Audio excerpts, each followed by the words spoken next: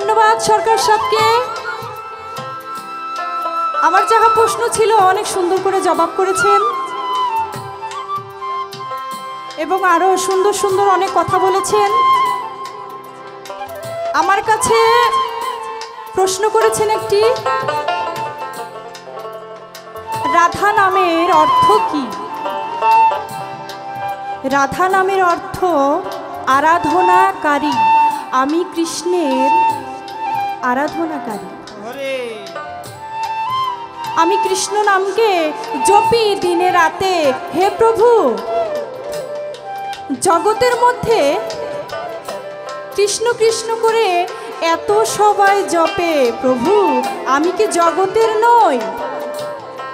প্রভু আমিও তো জগতের। প্রভু কি আমাকে আপনার সেই দিন প্রয়োজন ছিল? আপনি আমাকে দিয়ে দিলেন ভক্তের কাছে। প্রভু আর কি কিছু ছিল না আপনার? আপনি আর এক ভক্তের ডাকে আপনার এই শ্রীমতী রাধিকাকে আপনার প্রেমের আরাধনাকে আপনি দিয়ে দিলেন। আপনি কি পারতেন না আপনার ভক্তকে বোঝাইতে প্রভু? তাতেও আমার কোনো দুঃখ নাই। আমার প্রভু যাহাতে খুশি আমিও তাহাতেই খুশি।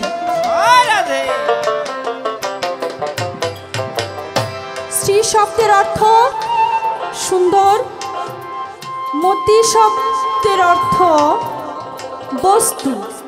শ্রীমতী রাধিকা রাধিকা শব্দের অর্থ আরাধনাকারী। আমাকে বলেছেন, র, আকার, ধ, আকার। এগুলোতে কি দাঁড়ায়? আমাকে একটি প্যাচ দিয়ে গেছেন। রতে কোটি জন্মের পাপ বিনষ্ট হয়। আকারে গর্ভবাস রোগ, মৃত্যুর রোগ হতে মুক্তি পায়। এবং ধতে আয়ু বৃদ্ধি পায়। আকারে ভববন্ধন মুক্তি হয়। আমার কথাটা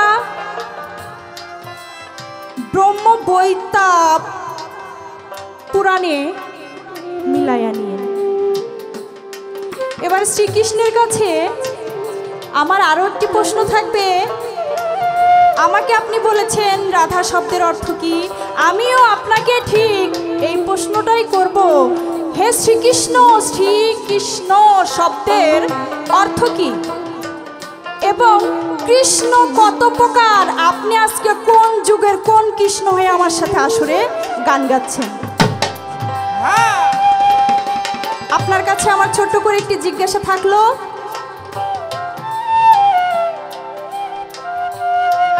আমার আর কিছু জিজ্ঞাসা করার নাই। আজকে যে কৃষ্ণ পাইছি আমি শুধু একটা জিনিস মনে মনে করি আর হাসি। আজকের কৃষ্ণ কেন? ওনার যে টুপি মাথায়টা হাই, ঠিক আছে আমাদের কমিটি আইনাল ভাই পালা ক্ষেত্রে দিছে। টুপিটা খুইলা কি একটা কিছু মাথায় দিলে কি টাইম লাগতো বেশি? আরে! চিৎকার রশিদ দেওয়ান বলেছেন সেজেছ যেই সাজ করিবে সেই কাজ নইলে পাইবে লাজ বিচারে। আরে আমার বলাটা আমি বলে গেলাম এটা বাজানের ব্যক্তিগত বিষয়। আচ্ছা আমি এবার আমার পালা থেকে একটি গানে চলে যাব ধন্যবাদ।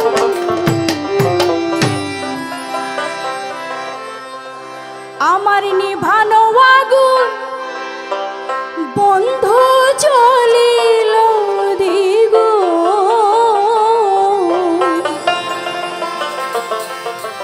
আমার নিভানো ও বন্ধ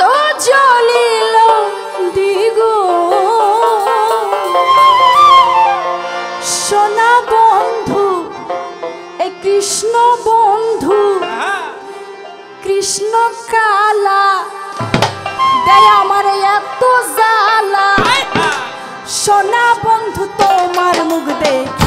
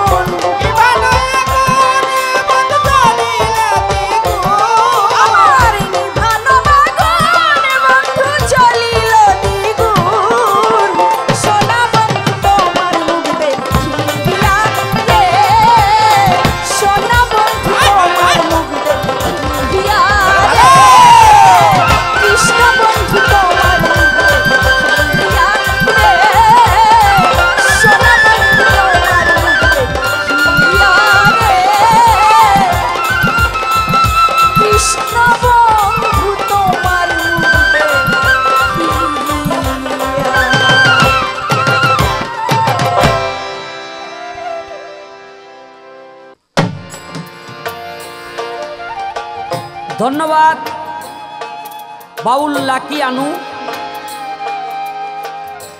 আমার প্রশ্নের জবাব করে আমার কাছে একটি প্রশ্ন করলেন,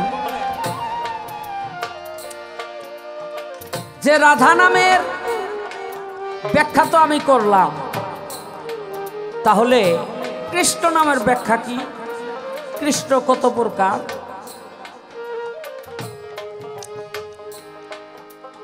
চেষ্টা করব। জবাব করার। তবে আমারে খুব একটা ঝামেলার মধ্যে ফেলাইছে যে মাথায় টুপি এটা খুললেন না। দেখেন, আমি আপনাদের সকলকে বলি, মাথায় টুপি রেখে সনাতন ধর্মের আলোচনা করা যাবে না। এমন কোনো কথা না। আমি চৌত্রিশটা পালা আমি যেটুকু সম্ভব গুছাইয়া গাছাইয়া অন্তরের মধ্যে রাখছি। যখন যেখানে যাই যে পালাটা দেয়, ওই পালাটাই গাইতে হয়। যার জন্য এই পালা দেশে দেখে আমার মাথার টুপি খুলতে হইব। এই জিনিসটা আমি ঠিক বুঝলাম না। আমার হিন্দুরাও কিন্তু মাথার মধ্যে টুপি দেয়। যেমন আমাদের দেশে একজন মস্ত বড় পরিচালক ছিলেন চলচ্চিত্রের সুভাষ দত্ত। হ্যাঁ। উনি সব সময় মাথায় টুপি রাখতো।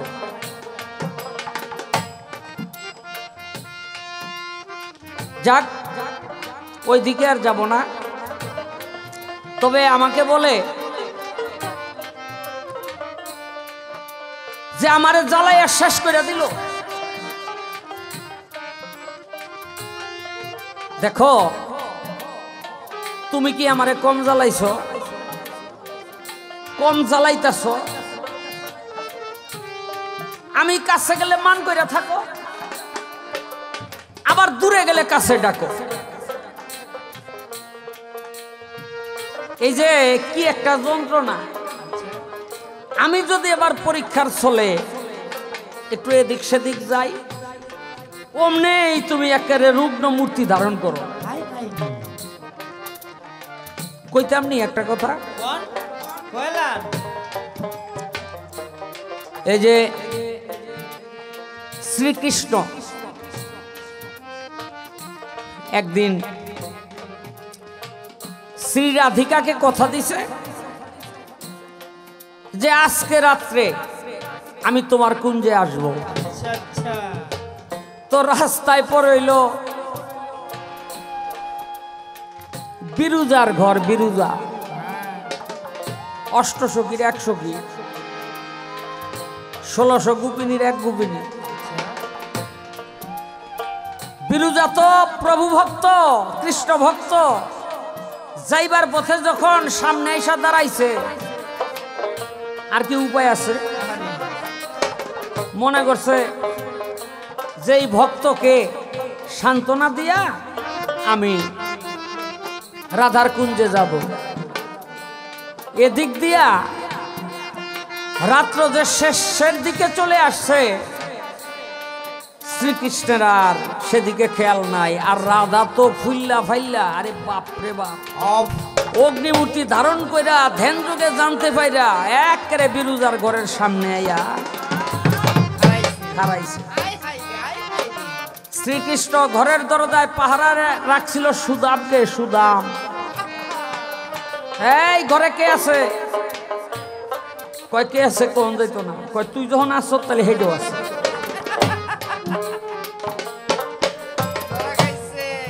দরজা ধাক্কা দিয়া ভিতরে ঢুকবো। আর শ্রীকৃষ্ণ অন্তর যাবি না। বুঝতে পারছে? বিরুজা, আজকে ধরা পড়ে গেছে। বিরুজা হইল কি? বিরুজা হয়ে গেল একটা নদী শ্রীকৃষ্ণ হয়ে গেল একটা সাপ। রাধা ঘরের মধ্যে ঢুকাই একেবারে দেখে আরে চক্ষু তো নষ্ট হয়ে গেছে আমার এটি কি দেখতেছি? ঢুকলাম ঘরের মধ্যে এ বললাম নদীর পার আচ্ছা।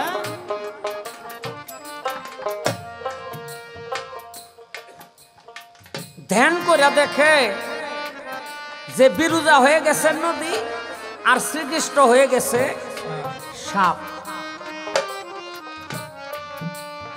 আর রাধাও তো কম না। একটা ময়ূর রূপ, ময়ূরের রূপ ধারণ করিয়া একেবারে শ্রীকৃষ্ণের এই যে ফোনা সাপের, এই মাথাটার মধ্যে গিয়া বইছে। মাথাটার মধ্যে বইয়াই দুইটা আঙ্গুল একেবারে ডাবাই দিছে। পায়ের যে আঙ্গুলের নখ, এই নখ ডাবাইয়া দিছে। শ্রীকৃষ্ণ দেহে যেইভাবে রক্ত ঝরতেছে, এটা তো মানে প্রাণ যায় যায় অবস্থা। শ্রীকৃষ্ণ স্বাভাবিকের মধ্যে চলে আসলেন যে ধরা যখন পড়ে গেছি, বাঁচার আর উপায় নাই। বিরুজ স্বাভাবিকের মধ্যে চলে আসলেন। খেয়াল করে দেখবেন, শ্রীকৃষ্ণের পায়ের পাতা লাল আর এই ঠোঁট লাল ছিল। আমার একটা গানও আছে, দিল না দিল না, নীলমন দিল না, এত যে নিঠুর বন্ধু, জানা ছিল না। জানা ছিল না রক্তরাঙ্গা গোলাপ রাঙ্গা রাঙ্গা পায়ের আলতা, আলতার চেয়ে অধিক রাঙ্গা কি জানলে বলো তা? শালম সরকারে কয় আলতার সে রাঙা হয়, আমার শ্রীকৃষ্ণের ঠোঁটখানা। কেন? ওই যে শ্রীকৃষ্ণের মাথার মধ্যে বৈশা, পায়ের নখ ডাবাইয়া দিছিল। অনেকে কইতে পারেন, শ্রীকৃষ্ণের মাথার মধ্যে গিয়া পাও দিল, রাধা হ দিল। স্বামী স্ত্রীর এমন একটা সময় আছে কার পাও কার মাথা? কোনো বেয়াদবি নাই। যুগে যুগে রাধা কৃষ্ণ হারি হারি রক্ত ঝরল। ওই রক্ত বিরুজার ঘরে যখন প্রকাশ পাইল,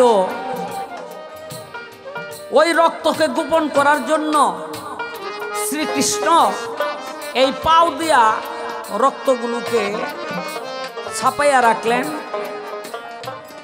আর কিছু রক্ত বেয়ে বেয়ে ঠোঁটের মধ্যে পড়েছিল সেগুলো শ্রীকৃষ্ণ এমনভাবে ঠোঁটের মধ্যে মাখলেন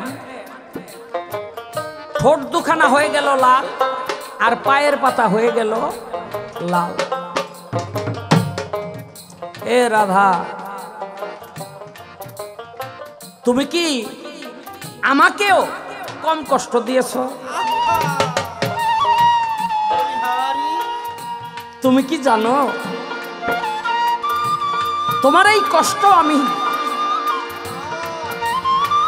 কেন সহ্য করেছি? তুমি জানো না। তোমার এই কষ্ট কেন আমি সহ্য করেছি?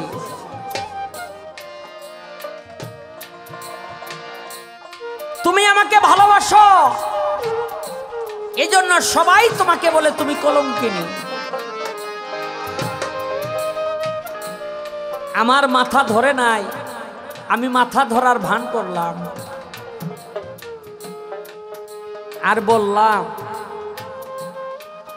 যদি কোনো সতী রানী নারীর পায়ের ধুলা আমার এই মাথার মধ্যে পড়ে তাহলে আমার পায়ের ব্যথা মাথার ব্যথা ভালো হবে। কত ঘরে কত মানুষ গেল। রাধে গো। সত্যি আর খুঁজে পায় না, কেন পায় না জানো? ওরা জানে যে আমার পায়ের ধুলায় যদি শ্রীকৃষ্ণের মাথা ব্যথা ভালো না হয়, তাহলে সমাজ আমাকে কলঙ্কিত করবে। কার কাছে গেছিল? গেছিল শ্রীমতী রাধারানীর কাছে। কি? শ্রীকৃষ্ণ মহাপ্রভুর মাথায় যদি সতীর নারীর পায়ের ধুলা লাগে, তাহলে মাথা ব্যথা ভালো হবে। রাধা মনে মনে চিন্তা করে।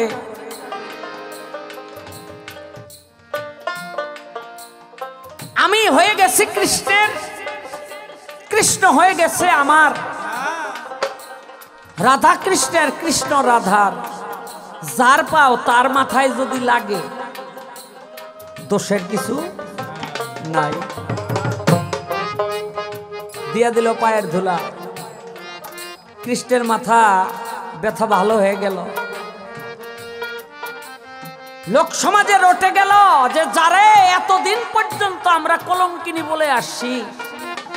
আসলে সে তো কলঙ্কিনী না। যদি কলঙ্কিনী হইতো, তাহলে শ্রীকৃষ্ণ বলেছিল যে সতী নারীর পায়ের ধুলা না পাইলে প্রভুর মাথা ব্যথা ভালো হবে না। রাধার পায়ের ধুলায় যেহেতু কৃষ্ণের মাথা ব্যথা ভালো হয়েছে, তাহলে রাধা সতী।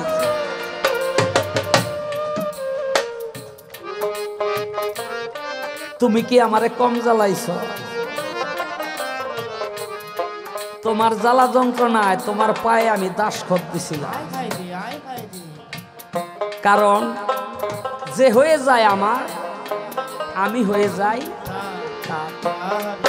একটা গান আছে হিমকষা পাথরের মতো পাথর নয় পরশমণি, প্রেম কি সামান্য বটে হলো শুধু রাধা বলে, আমি কৃষ্ণ প্রেমের যোগ্য নই, আমার কৃষ্ণকে যে ভালোবাসে, আমি তার প্রেমিকা হই। যার ভিতরে বাহিরে কৃষ্ণ, সে কৃষ্ণ নাম বিলাসিনী, প্রেম কি সামান্য বটে?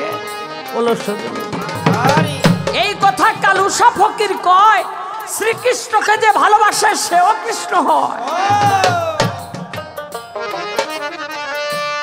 এই কথা কালুসা ফকির কয়, শ্রীকৃষ্ণকে যে ভালোবাসে, সেও কৃষ্ণ হয়।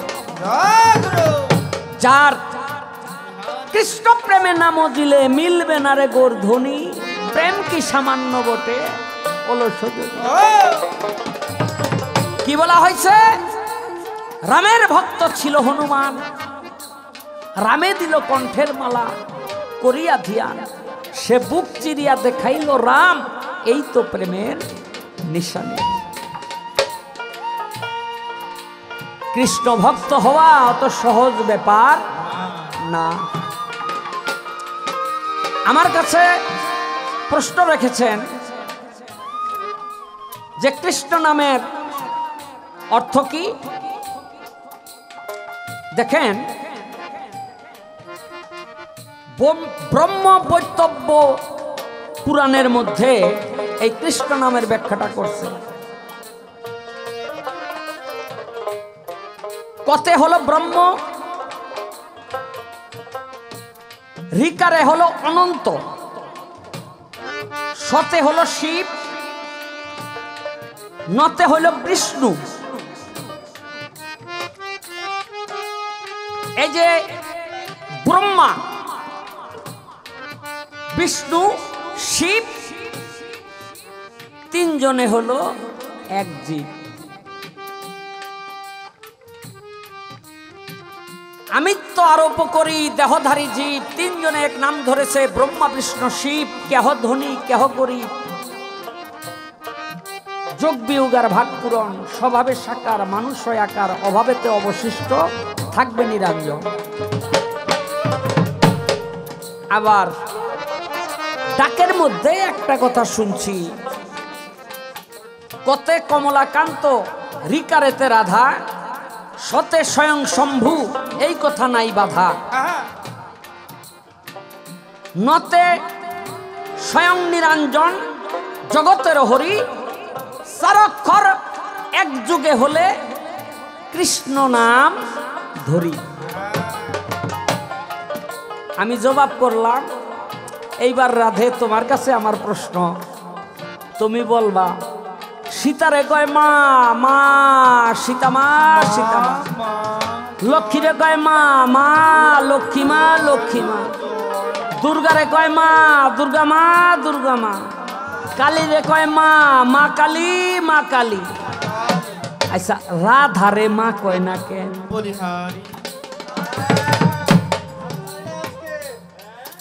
শাস্ত্র পড়ে জানতে চাই পাই। শাস্ত্র পড়ে জানতে পাই রাধার গর্ভেও একটা সন্তান হয়েছিল তার তো মা হওয়ার কথা। কিন্তু রাধা কলঙ্কিনী এত উঁচু মানের কলঙ্কিনী জগৎ সংসারে কেউ রাধিকাকে মা বলে ডাকে না। না। এর কারণটা কি? একটা গান গাই তারপরে দেখি শ্রী রাধিকা আজকে কি করে? ওরে আমি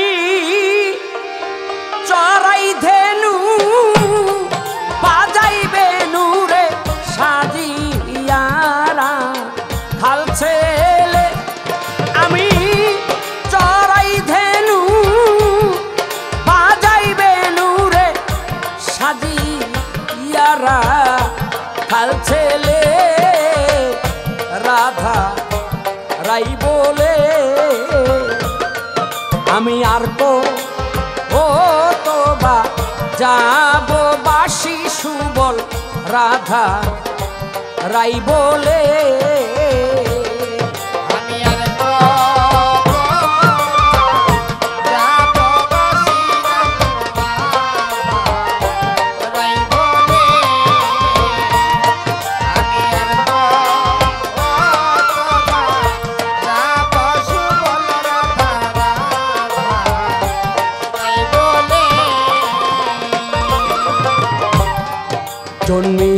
দই বকির ঘরে। ওরে আমি মা ডাকিলাম যশ ধারে গো। হায় হা জন্মিয়া দই বকির ঘরে। ওরে আমি মা ডাকিলাম যশ তারে গো। আমি জন্মি কংসের কারাগারে রে জানে কথা সকলে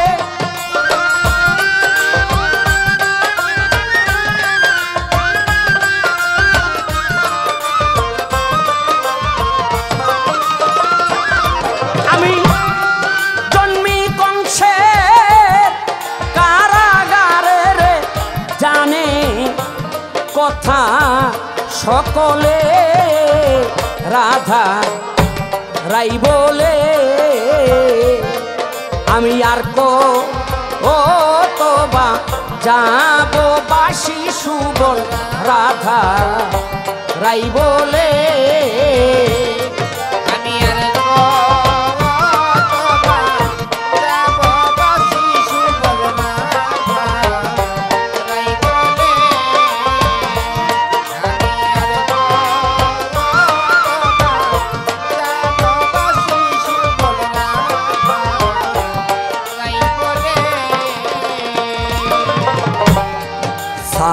সারিয়ামো পুরাপুরি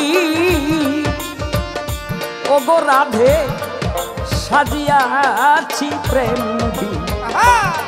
তারি গো রাধে গো সারিয়ামো পুরাপুরি ওগো রাধে সাজিয়াছি প্রেম ভি। কারিগো আমি রাধা প্রেমে গিরিদারি ব্রজের হরি গোকুলে।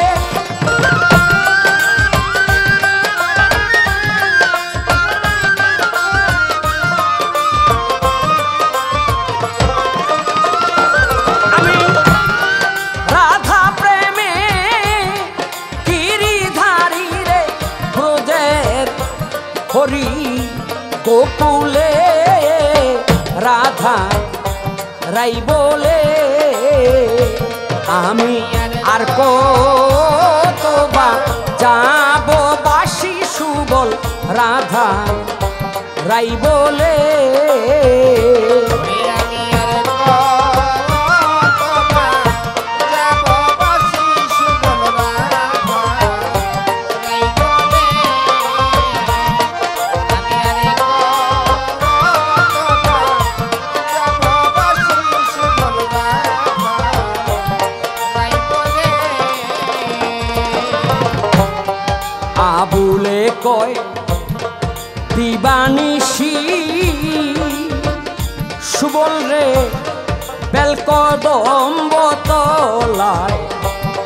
আসিব